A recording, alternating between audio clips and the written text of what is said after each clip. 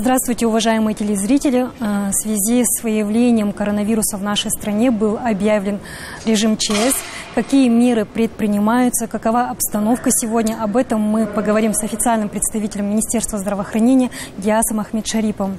Диас, приветствую вас. Э, расскажите, пожалуйста, о состоянии заболевших. Как они себя чувствуют? Здравствуйте. Состояние у них удовлетворительное.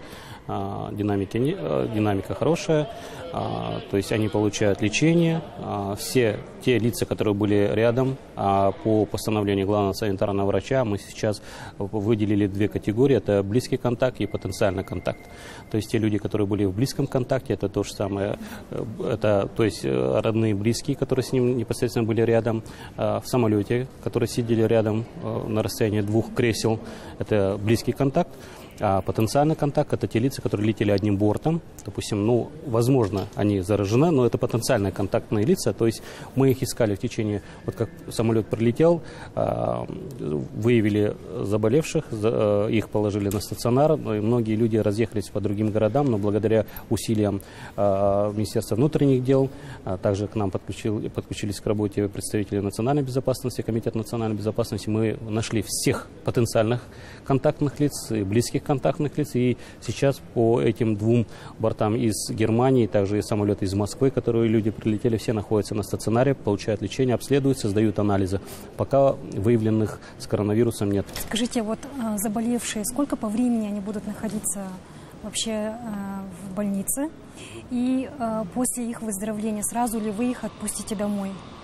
А, сам стационарный карантин предусматривает 14 дней наблюдения врача непосредственно в больнице, в карантине, в провизорном отделении. То есть те люди, которые заболели, они ежедневно проходят лечение, сдают анализы дополнительно, то есть предпринимаются все методы лечения. А, после выздоровления, а так как они выздоровеют, это мы уверены, потому что а, по мировой статистике из 130 тысяч заболевших более 70 тысяч выздоровели. То есть если не запустить эту болезнь, и, и тем более на первых порах, то есть она излечим, излечивается, данная болезнь. Мы как они вылечатся, конечно, они будут отправлены по своим регионам, по своим домам, но будут будут в любом случае под пристальным наблюдением наших врачей уже по месту пребывания. А все другие контактные лица, близкие люди, которые были в контакте, которые сейчас у нас лежат в стационаре, они также пройдут все тесты, анализы. Подтверждаем анализ, один тест они сдают, если отрицательно, мы еще раз берем анализы, уже идет второй тест. У нас мы тесты закупили с пяти государств, то есть есть и российские, и китайские, и казахстанские тесты, немецкие тесты. То есть после того, как они прошли все тесты и не подтверждается данный вирус, тогда они уже отлежавших 14 дней карантина, они выходят домой, по месту пребывания будут также наблюдаться у врача методом обзвона. Диа, скажите, пожалуйста, почему столь строго наказывает людей за отказ от лечения и предоставления информации о контактных лицах? Кто нарушил карантин, кто нарушил карантин и им предусмотрено, э, предусмотрен штраф в размере 5 МРП согласно 462 статье, пункт 3, это невыполнение постановления. То есть тут постановление главного санитарного врача, это согласно Кодексу административного правонарушения. Им грозит штраф в размере 5 МРП. То есть, если вы находитесь на стационаре в карантине, в принципе, э, под наблюдением врачей, и есть домашний карантин, а, на домашний карантин они те лица, которые приехали из категории 1Б. Мы же подразделили категории, на три категории у нас действуют. То есть, если вы нарушили домашний карантин, то также вы будете а, наказаны административным штрафом.